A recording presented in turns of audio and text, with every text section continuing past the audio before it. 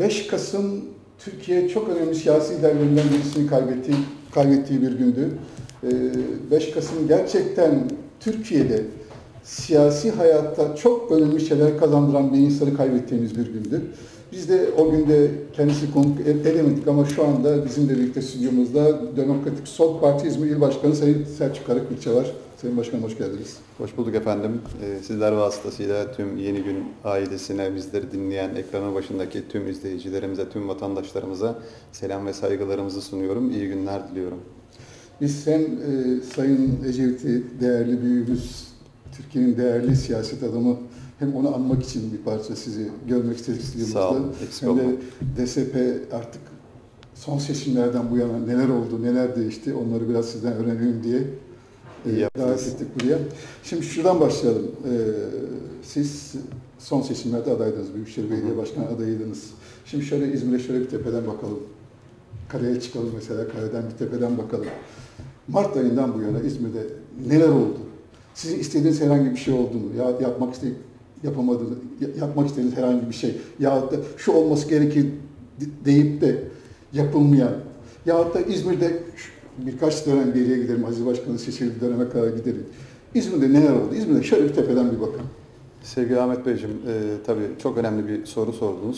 Ama öncelikle e, Genel Başkanımız, partimizin kurucusu, kuramcısı Bülent Ecevit'i ölümünün 8. yıl dönümünde bütün partililerimiz Türkiye çapında, başta genel merkezimiz, il başkanlıklarımız kendisine layık olmaya çalışaraktan en etkili şekilde anmaya çalıştı.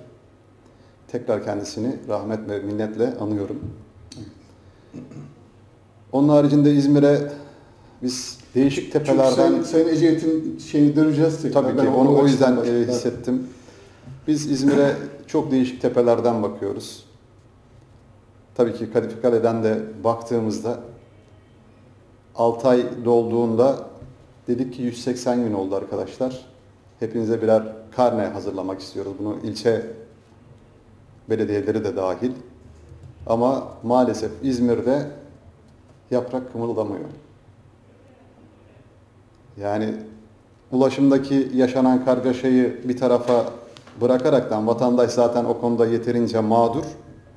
Ama İzmir'e biçilen en büyük paye İzmir'in köylü oluşuyla ilgili, yenileşemediğiyle ilgili. Şu anda İzmir'de maalesef kentsel dönüşüm adına bizim çok çok önemsediğimiz kentin vizyonu, misyonunu net bir şekilde ortaya koyulabilecek konularda ne bir net proje ortaya çıkmış vaziyette ne de herhangi bir çalışma içerisinde olunduğunu çok fazla göremiyoruz. Ayrıca geride bıraktığımız dönemde işte 9 Eylül'ü kutluyoruz, 29 Ekim'i. Önümüzdeki hafta Ulu Önderimiz Mustafa Kemal Atatürk'ü anacağız. İzmir'de hep aynı noktalarda, aynı adreslerdeyiz ve onlar da 2000'li yıllarda rahmetli belediye başkanımız Ahmet Piriştina'nın büyük eserleri. Yani onlara ek küçük e, ufak tefek icraatlar dışında çok da fazla bir değişim olduğunu görememek açıkçası herkesten çok bizi üzüyor. Çünkü Çünkü- yana İzmir'de bir, bir şey değiş, değişen şey Çok olmadı. fazla bir şey değişme. Tabii değişiklikler olduğu söylenebilir. Ama evet İzmir şunu yaptı. Evet Türkiye'nin çünkü İzmir özgürlükler şehri. Evet. İzmir Türkiye'nin dayandığı şehir. Ve biz mirasımızı böyle görmek istemiyoruz. Tabii ki bu seçimlerde bunu değiştirmeye sadece bizden kaynaklanan sebeplerden değil, İzmir'de oluşan ki kendi öz eleştirilerinde de arkadaşlardan yakinen duyduğumuz aman AKP gelmesin düsturuyla vatandaşlarımız maalesef gene bu dönemde mevcut belediye başkanımızı seçtiler. Hizmet odaklı olunması, fark yaratılması ve Türkiye'nin beklediği çıkışın yapılması gereken bir yer İzmir. O yüzden biz çalışmalarımızı moralimizi bozmadan gene Ecevit'le bu konuyu ilişkilendirmemiz gerektiğinde Ecevit bize herhangi bir seçimi kaybettiğimizde bu halk bir şeyden anlamaz. Bu halka ne yaparsan yaranılmazdan ziyade biz neden halkımızın oyunu alamadık? Neden onların yaralarına parmak basıp dertlerine derman olamadık da bu oyu alamadık sorgusunu kendimize sorup yeniden mevcut durumumuzu gözden geçirip hiç yorulmadan yola devam etmemizi isteyen bir liderdi. Ki kendisi de zaten Türkiye'de nadirdir.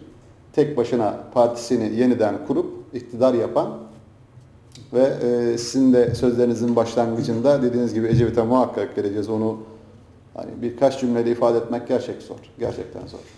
Onun nasihatına pek uyulmadı herhalde. Yani bir seçim kaybetseniz dahi yılmayın, Hı hı. nerede kaybettik diye araştırın. Bu nasihata pek uyulmadı herhalde. Büyük bir çok, yani geniş bir kitle halkı suçlamaya kalktı. Neden bize oy vermiyorlardı? Var olan e, iktidar partisine oy veriyorlar diye. Hayır, bu Özellikle sosyal hayır, medyada. Demokratik Sol Parti'de bu çok geçerli değil. sizin için demiyorum. Genel, şu, genel bir bakış olarak Şimdi tabii e, buna eğer şöyle bakarsak Ecevit sadece bir şapkadan ibaret olsaydı bu nasihata uyulurdu. Yani e, şapkayla bu iş olmuyor. Yani Olmuyor. Ecevit'i daha derin çalışmak gerekiyor Ecevit'i. Bunun altına bir şeyler aramayalım değil mi? Bu şapka. evet. Fakat şöyle bir algı var yine de. Siz seçimlere girdiniz gerçekten önemli adaylar sizinle birlikte oldu belediye, belediye başkanlığı seçimlerinde. Fakat insanlarda bir korku var. Özellikle İzmir'de. Aman AK Parti gelmesin biz var olan muhalefet partisiyle devam edelim korku. Bu korkuyu yenebilecek misiniz? Aşabilecek misiniz bunu? Bütün çabamız o yönde. Bütün gayretimiz o yönde. Halkımızın korkmasına, endişelenmesine gerek yok. Eğer böyle bir endişe gerçekten yaşanıyorsa Türkiye genelinde de AKP'yi göndermemiz gerekiyor.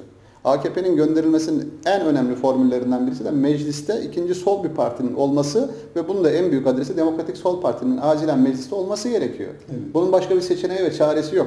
Artı e, bugüne kadar e, böyle bir rakamı telaffuz eden ya da olmayan bugün AKP iktidardan göndermenin mevcut milletvekilleri, muhalefet milletvekillerine 35 milletvekilini daha eklediğiniz zaman AKP iktidardan gidiyor. Bu kadar kolay. Önemli olan nedir?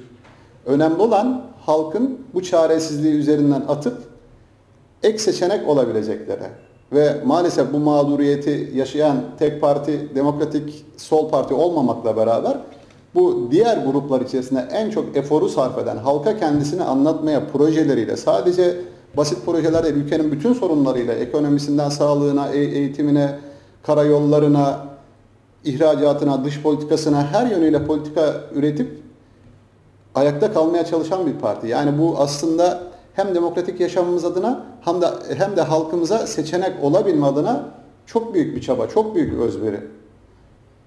Dilerim ki 2015 gerçi muhakkak oraya da geleceğizdir ama 2015 seçimleri çok çok önemli. Hemen gelelim öylesi. Bir hazırlığınız var mı? E, Başladınız tabii mı? tabii tabii tabii. Şu anda belki de en hızlı parti biziz. E, milletvekili aday adayı başvurularımızı başlattık. E, İzmir'de de e, başlangıç itibariyle hatırı sayılır bir başvurumuz var. Yani genel merkezimize, tüm illerimize de buradan e, destek olabilmek adına, bu enerjimizi paylaşabilmek adına sürekli yani en önemli çabamız bu. Bu Cumhuriyet Halk Partisi'ndeki son dönemdeki kopmalarla ilgili neler diyeceksiniz? Mesela bu kopmalardan size de size yansıyan bir şey olacak mı? Şimdi tabii o kopan arkadaşların inisiyatifinde olabilen bir şey. Bu konuyu genel merkezimiz muhakkak değerlendirecek. Ama açıkçası parti içi bir e, taktik savaşları da olabilir diye düşünüyoruz. Biz şu anda bu konulara biraz mesafeliyiz. Hı hı. Bekleyip görmek lazım. Hani e, politika üreten arkadaşlarımız da değerli arkadaşlar. Ama parti içi başka şeyler olabilir. Biz en azından şu anda bu konuyu serin kanlılıkla uzaktan izlemeyi tercih ediyoruz. Suyu akışına bıraktınız be- belli bir süre. Öyle olması gerektiğini düşünüyoruz. Çünkü Cumhurbaşkanlığı seçimi çok önemliydi. Biz öyle bir dönemi geride bıraktık. Hı hı. E, belli rollerin alınması gerekiyordu. Yani siyaset biraz kararlılık işi. Tabii Demokratik Sol Parti olarak biz e, gelebileceklerden ziyade gelenlerin bizim kriterlere uyması çok önemli. Çünkü Ecevit duruşundan bahsediyoruz. Demokratik sol öğretilerden bahsediyoruz. Siyaset işte biraz önce şahitliğini yaptığınız söz vermek başka hiçbir şeye benzemez. Cumhurbaşkanlığı seçiminden bahsettiniz. Hemen oraya dönelim. Hı hı. Cumhurbaşkanlığı seçiminde siz de AK Parti karşısındaki aday, adayın yanındaydınız. Yani Cumhuriyet Halk Partisi Milliyetçi Hareket Partisi ile birlikte. Bu konuda ne düşünüyorsunuz? Doğru, doğru yaptınız mı? Yoksa daha farklı bir tavır mı sergilenmesi gerekiyordu? Şimdi şöyle oradaki en önemli kriter aday gösterme ve ay- aday gösterilebilme noktasıydı. Demokratik Sol Parti'nin maalesef bu konuda eli çok zayıf. Hı hı. Yani elinde avucunda olmayan ama ülkenin gidişatı, toplumun beklentileri yönünde de bir karar almak durumundasınız. Önümüzde üç seçenekli bir aday var. Bu adaylardan bize en sıcak, en yakın olabileceğini desteklemek durumundaydık. Çünkü siyaset boşluk kaldırmaz. Ve Genel Başkanımız Doktor Masum Türker'in sürekli söylediği ve bize de öğütlediği bir şey vardır. Sürekli oyunda olmak durumundasınız. Oyundan düştüğünüz anda bu sizin e, yayın politikanızla da alakalı, yaptığınız işle de alakalı, kendinizi sürekli yönleyip aktif olmak durumundasınız. O dönemde de Demokratik Sol Parti mecliste muhalefet partilerinin ortak adaylarını destekleme kararı aldı. Tabi kamuoyunun eminim ki gözünden kaçmamıştır. O süreci en yakın ve en akıllıca takip eden parti Demokratik Sol Parti'ydi. Deklarasyonun yayınlanmasından Sayın Ekmelettin İhsanoğlu tabi bunu kamuoyu çok bilmez. Partimizde 3 saat genel merkez idarecilerimize 3 saat briefing verdi. Onlarla görüş alışverişinde bulundu. Biz ondan sonra okey kararını aldık. Evet deme kararını aldık. Ama diğer adaylara da açıkçası evet deme şansımız olmaması en büyük tercihimizin temelinde yatan sebeptir. Ben İzmir'le ilgili tekrar bir soru sormak istiyorum. Son dönemde biraz, biraz evvel siz aslında konuşmanın başında da söylemiştiniz. Trafik sorunundan ba- bahsettiniz. Trafikte gerçekten çok garip şeyler oldu. Devrim diye ortaya çıkıldı. Bir, bir keşmekeş oldu.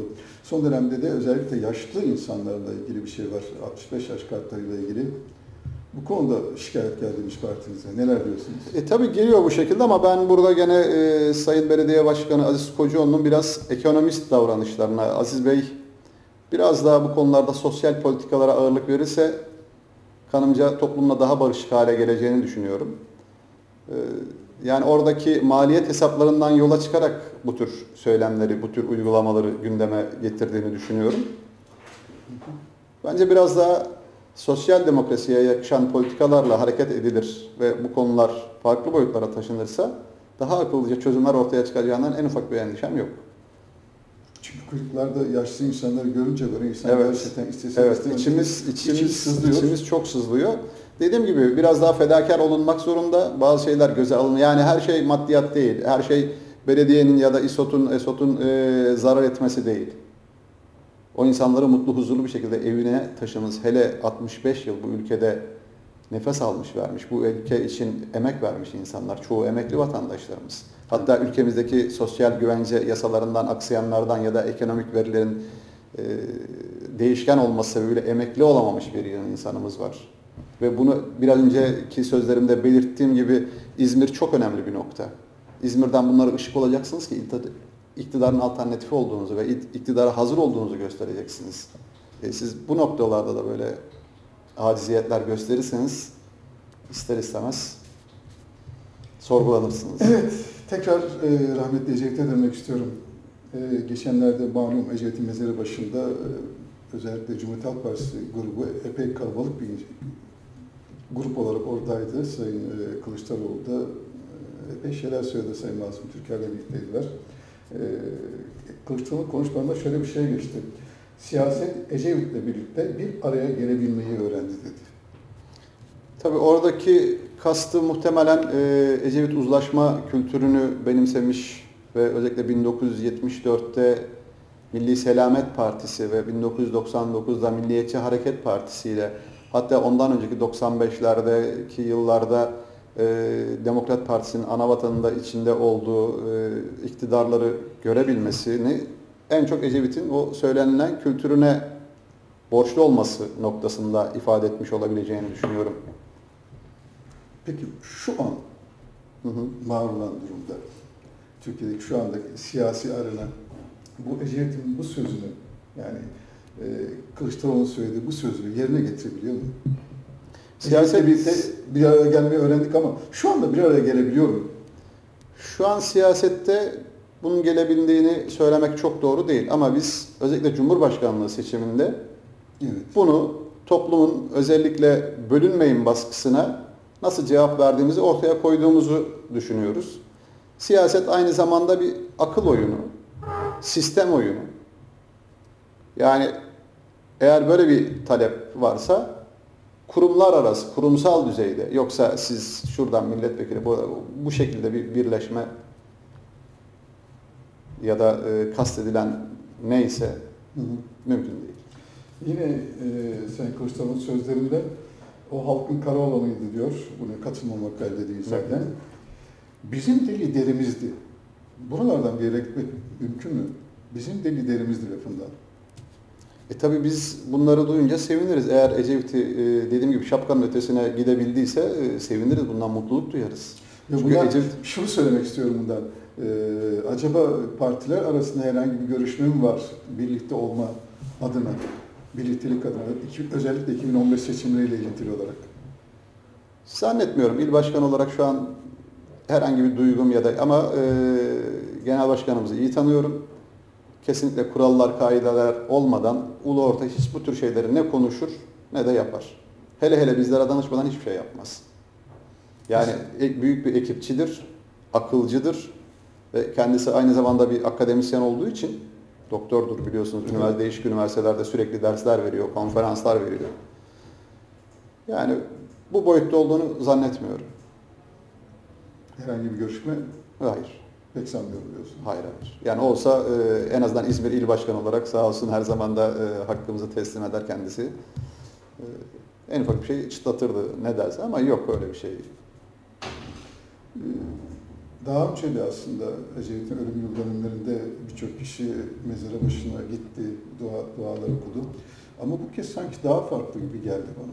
Böyle şey, Cumhuriyet Halk Partisi'nin özellikle kalabalık bir grupla gitmesi. Yani dediğim gibi biz buna seviniriz. Ecevit'in kıymetinin bili- biliniyor olması. Tabii bunu Siz bu farkındaysanız açıdan bakıyorsunuz. Farkındaysanız bu olay sadece Ankara'da gerçekleşmiş vaziyette. Demek ki daha e, organlara yerleşmemiş. Ecevit algı, algısı organlarında hala hissedilir boyutta değil. Evet. Yani biz İzmir'de bir yürüyüş gerçekleştirdik. Arkadaşlarımızla Demokratik Sol Parti olarak. Bütün Ecevit'i, Ecevit sevenleri herkesi oraya davet ettik. Peki önümüzdeki günlerde Sayın e, rahmetli Ecevit'le ilgili e, neler planlıyorsunuz, neler düşünüyorsunuz, Tabii bizim neler yapacaksınız? Ee, Selçuk Karaküç olarak İzmir İl Başkanı olduktan sonra en büyük eksikliğim bu noktalarda olduğunu düşündüm ve hissettim, gördüm. Ve arkadaşlarımıza şöyle bir şey söyledim o dönem içerisinde. Biz dördüncü yıla girmekteyiz Demokratik Sol Parti İzmir İl Başkanlığı'nda. Dedim ki arkadaşlar, e, Bülent Ecevit küçük toplantılarla, küçük dar salonlarda anılacak bir lider değil. O yüzden çabalamayız, çabalamalıyız. Ve biz iki yıldır, geçen yıl e, bir festival ya da onarım söz konusuydu. İsmet İnönü Kültür Merkezi'nde hatta e, sloganımız da İzmir seni unutmadı Karaoğlan şeklindeydi. İlk yıl çok coşkulu, güzel geçirdik. Geçen yılda e, Fuar Gençlik Merkezi'nde gerçekleştirdik. Bu yıl 30 Kasım'da Genel Başkanımızın da katılımıyla büyük coşkulu bir kutlama etkinliği, anma etkinliği. Tabii Kasım ayı içerisinde bizim partimizin kuruluş da yıl dönümü aynı zamanda 14 Kasım. Hem partimizin kuruluş yıl dönümünü hem de Ecevit'imizi halka ve özellikle yeni nesle bakın o yürüyüş esnasında özellikle gençleri durdurdum, soldurdum. Yani bugün nedir biliyor musunuz? Genel başkanımız tabii bilenler çoğunlukta ama gençlere biraz daha anlatılması gerekiyor. Çünkü biz özellikle demokratik solu nesiller boyu sürdürme kararlılığı ola, olma isteği ve arzusunda olan bir siyasi partiyiz. Bunun da en büyük kökeni, temel aldığı, büyütüp yeşerttiği ve tabii Atatürkçülüğü hiçbir zaman bir kenarda bırakamayız. Bülent Ecevit'tir. Dediğim gibi 30 Kasım'da İsmet İnönü Kültür Merkezi'nde büyük katılımla partilerimizin de bütün Ecevit sevenleri herkesi oraya bekliyoruz. Coşkulu bir kutma anma etkinliği 30 Kasım. şu an çalışmaları içerisindeyiz. Hemen hemen neticelendirdik. Ayın 15'inden sonra da meydanlara afişlerimizi falan asıp davetlerimizi daha net duyuracağız. Evet, Demokratik Sol Parti her ne kadar e, mecliste olmasa bile diyorsunuz biz çalışmalarına devam ediyoruz. Gerek yerel yönetimlerde gerekse ulusal çapta çalışmaya devam edecek. Herhalde 14 Kasım'dan ya 30 Kasım'dan sonra Demokratik Sol Parti çalışmalara daha da hız verecek gibime geliyor. Sizin bu söyledikleri anlattıklarınızdan. Yok zaten çalışmalarımız hızlı. Ee, konu konuyu açtıkça biz e, mesela yerelden genele diye biraz önce söylediğiniz gibi İzmir'e değişik tepelerden bakıyorum dememizin sebebi o. Yerelden genele dediğimiz biz her hafta il başkanlığı toplantımızı bir ilçede gerçekleştiriyoruz. İlçelerin sıkıntıları mesela e, Kemal Paşa'da bir e, basın açıklaması yaptık. Hı hı. Oradaki yollarla ilgili e, tabii bu vesileyle Kemalpaşa Belediye Başkanı'na da belki teşekkür edebiliriz. O e, basın toplantısı ve arızaları söylediğimiz noktalarda şu an ciddi çalışmalar görüyoruz. Ya, düzeltilmesi yönünde bir çaba olduğunu hissediyoruz. Yerinde sorunları tespit edip yerinde uyarılarımızı yapmak gibi İzmir e, çöpüyle ilgili İzmir e, İl Başkan Yardımcımız Sıddık Soysal'ın çözümleriyle beraber ortaya koyduğu yani birçok projede Demokratik Sol Parti inisiyatif biz hiçbir sorundan geri kal- kalamayız. Çünkü biz iktidara talibiz. İktidar olması niyetliyiz. Yani muhalefet elbette e, belki ilk aşamada olabilir ama biz asıl iktidara talibiz. Biz siyasi partinin olması, hedef olması gereken noktadayız. Bunun için çabalıyoruz ve her il toplantısında sözlerimize başlarken arkadaşlar iktidar her an kapımızı çalabilir. Biz hazır olmak zorundayız. İktidar kapımızı çaldı diyelim bir şey oldu. E, ne diyeceğiz halk? Projelerimizde gerek eğitimde, sosyal yardımlaşmada, sağlıkta, ulaşımda her yönüyle hazır olmamız gerektiğini çok iyi biliyoruz. Ona göre de çaba ve çalışmalarımızı yürütüyoruz. Yürütüyoruz işiniz gerçekten zor çünkü vatandaşlar sanki kutuplaştı gibi böyle bir AK Parti, bir Evet. AK Parti karşıtları diye. AK Parti karşıtları da işte karşıtlığını biraz evvel konuştuğumuz o korku var. Ama siz o korkuyu yenmek zorunda olduğunuzu Kesinlikle. söylediniz. Gerçekten yenmek zorunda insanlar o korkuyu.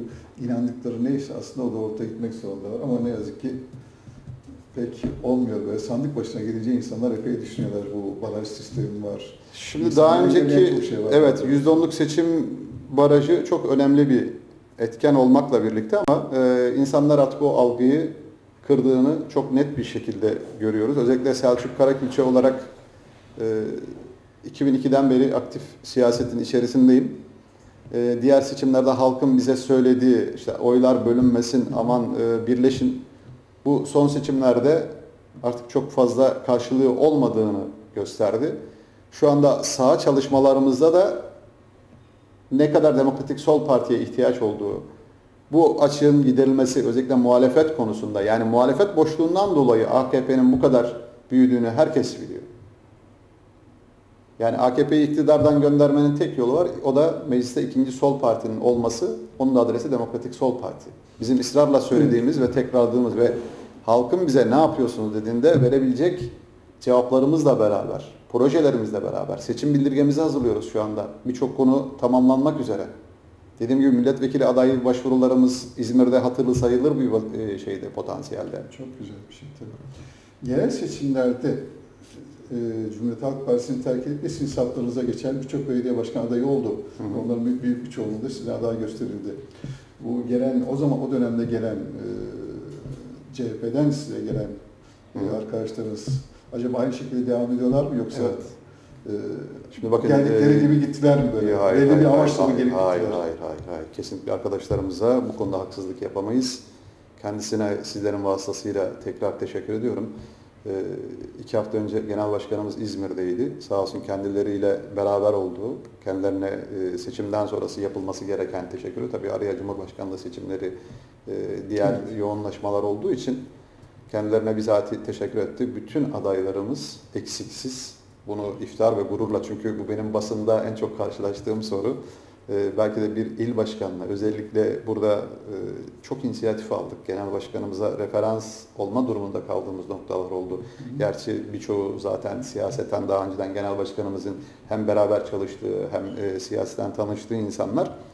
Ama e, şu an hepsiyle omuz omuza e, hatta basın o fotoğrafı kaçırdığını düşünüyorum ben. E, burada öğretmen evinde yemeğimiz oldu. Bütün belediye başkan adaylarımız. ikisi dışında onların da mazeretleri vardı, kabul edilebilir mazeretleri vardı. Birisi yurt dışında, birisi de e, ailesi yakınlarından birini kaybettiği için mazeret bildirerek katılamadılar. E, hepsi genel başkanımızın masasında ve hatta 30 Kasım ya da 29 Kasım'da e, İzmir'de genel seçime yönelik belediye başkan adaylarımızın, meclis adaylarımızın, il başkanlarımızın katılacağı ciddi bir etkinlik hazırlığı içerisindeyiz. Onun çalışması içerisindeyiz. Şu anda sadece zaman kavramını nasıl yöneteceğimize bakıyoruz. Aslında bö- böyle bir görüntü herhalde İzmir halkına da çok şey Ben verebilir. basın onu kaçırdı diye düşünüyorum. Yani çok önemli. Çünkü bana en çok sorulan sorulardan birisi e, ne yapıyorlar, ne ediyorlar.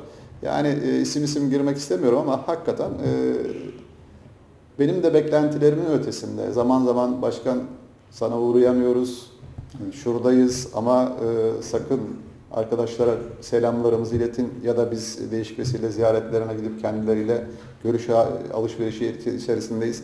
Yani o konuda en ufak bir zafiyet yok. Aksine çok büyük gelişmeler var. Bu bulunduğumuz nokta itibariyle hani meyveleri almak çünkü Demokratik Sol Parti'yi güçlendirmemiz de gerektiği noktasında bu büyümeyi görmek e, bize açıkçası çalışmalarımızda Evet. memnuniyet Sö-. Söyleriz sayılarda 29-30 Kasım'da aslında bu kişiler sizinle birlikte olurlarsa hem kendileri açısından Yo, bizde kavramı olur. bizdeler zaten yani öyle Sizinle birlikte olursa e, Sizinle birlikte biz o görüntüyü e, verdik burada ama e, basın o fotoğrafı kaçırdı. yani basın onu kaçırsa bile herhalde önümüzdeki Tabii biz onu e, Ama hem parti açısından hem de o kişilerin kendileri açısından büyük bir güven kaynağı olur gibime geliyor. Böyle böyle bir şey. Yani bir süreklilik. Biz anlık, bir anlık öfkeyle yapmadık bu işi. İnançlarımız vardı, kesinlikle değerlerimiz vardı. kesinlikle yani en Yani ufak insanlar da bunu görür, muhakkak değerlendirirler bence. Evet yani e, onu biz seçim zamanında da söyledik. Bizim Demokratik Sol Parti'ye böyle her geçen tarzında Demokratik Sol Parti'ye alınmayanlar da kabul edilmeyenler de oldu. Hı hı. Yani bunları tarih bize anlatma fırsatı verdiğinde ya da e, yazma fırsatı verdiğinde bunları da paylaşırız. Yani Demokratik Sol Parti her gelene buyurun kapı açık. Bizim kurallarımız, kaidelerimiz, ilkelerimiz var. Demokratik Evet, Sol Parti Ecevit duruşu, Ecevit'in partisiyiz. Onun koltuğuna talip olmak, onun e, yerini doldurabilmek büyük çaba ve özveri istiyor. Biraz önce dediğim gibi sadece şapkadan ibaret değil bu konular. Evet, bu şapka meselesi önemli herhalde. Bazı yerlere tabii mesaj gidiyordur umarım. Evet, son sözleri yine size bırakalım. Süremizin sonuna geldik. İzmir halkı için, bütün Türkiye için neler diyorsunuz son olarak? Yani İzmir halkı ve Türkiye açısından çok kritik bir sürece girildiğini bütün halkımız zaten farkındalar. 2015 seçimleri çok çok önemli. Türkiye geride bıraktığı dönem içerisinde iki partili, bazen de üç partili bir siyasi parlamento yapısı gördü. Dördüncü parti bağımsız milletvekillerinden oluştu. 2015 anayasanın oluşturulması açısından AKP iktidarının kafasındaki Türkiye İslam Cumhuriyeti'ni oluşturmasının temellerini kuracağı anayasayı yapması açısından çok çok önemli. Bu seçimlerde halkımız çok önemli bir tercih yapacak. Atatürk Türkiye'sinin kurmuş olduğu cumhuriyete devam mı yoksa kendilerini plazalarda, büyük saraylarda halkın derdini, ihtiyacını görmeden, bilmeden halktan uzak politikalar geliştirerek yer altında insanların nefessiz kalarak yer altında suda boğulmak diye bir şey var mıdır? Dünya madencilik tarihinde, dünya tarihinde hele hele 400 metrede ve buna afet diyemeyiz diye bilen bir enerji bakanına başka dünyada bir ülke sahip midir? Evet afet diyemeyiz. Bu bir ihmaldir, bu bir acziyettir. Bu bir kontrolsüzlüktür. Bunu göremeyenlerle artık Türkiye yoluna devam etmek zorunda değil. İnşallah Demokratik Sol Parti halkımızın da vereceği destekle bizler buna hazırız. Demokratik Sol Parti gerek yerelde gerekse genelde öncelikle bu yapının kırılması ve mecliste ikinci bir sol partinin olması bunun da adresinin Demokratik Sol Parti olması gerektiğini sizler vasıtasıyla halkımızla paylaşıyoruz. Kendilerine çalışmalarında başarılar, sağlık, sıhhat diliyorum. İnşallah madene giren her işçimiz sağ salim evine döner. İnşallah yola çıkan her vatandaşımız sağ salim evine döner. Bu memleket için isteyebileceğimiz en büyük istek ve arzular bunlar olabilir. İsteyen her gencimiz istediği okulda okuyabilir. İsteyen her vatandaşımız isteyen tabii ki böyle bir ülke hayaliyle çalışmak ve çabalamak bizim boynumuzun borcudur. Bu konuda da zaten elimizden geleni yaptığımızı düşünüyoruz. Daha fazla da yapılması gerekenler var ki bu milletin artık bu gidişata bir durması demesi Şu düşünüyorum. to- toplantıyı tekrar e, anons edelim. Mesela 30 Kasım'daydı değil mi? Onu Demokratik Sol Parti İzmir İl Teşkilatı olarak Onursal Genel Başkanımız, kurucumuz, kuramcımız Bülent Ecevit'i ölümünün 8. yıl dönümünde daha anlamlı, daha coşkulu, daha katılımlı bir katılımla İsmet İnönü Kültür Merkezi'nde 30 Kasım Pazar günü bütün vatandaşlarımıza beraber anacağız. Yok gündüz saat e, 12 gibi etkinliğimiz başlayacak. Bütün vatandaşlarımızı Ecevit'i sevenleri, Ecevit yolunda olduklarını, ilerley ilerlediklerini düşünen herkesi orada ağırlamak, misafir etmek istiyoruz. Bu yayında da halka kendimizi ifade etme imkanını bize veren Yeni Gün ailesi, Yeni Gün TV'ye teşekkürlerimi sunuyorum. Evet çok teşekkürler Sayın Başkan açıklamalarınız için. Size yol, çıktığınız yolda başarılar dileriz. Çok sağ olun. İnşallah 2015 seçimleri de sizler için, Demokratik Sol Parti için İnşallah. umduğunuz gibi gider, istediğiniz gibi olur. Hepimiz. Evet sayın seyirciler yeni özel burada sona eriyor. Ee, Konumuz Sayın Selçuk Karakülçeli, Demokratik Sol Parti İzmir İl Başkanı. Ee, programı sona erdirmeden önce Sayın rahmetli Ecevit'i ben de saygıyla, sevgiyle, hürmetle almak istiyorum. Gerçekten, gerçekten Türkiye'nin yetiştirdiği çok nadir insanlardan biriydi. Allah'tan rahmet diliyoruz. Evet, az sonra e, Baro Başkanımız Aydın Özcan bizimle birlikte olacak. E, yeni saat 11.30'da tekrar görüşmek dileğiyle. Hepinize hoşçakalın efendim.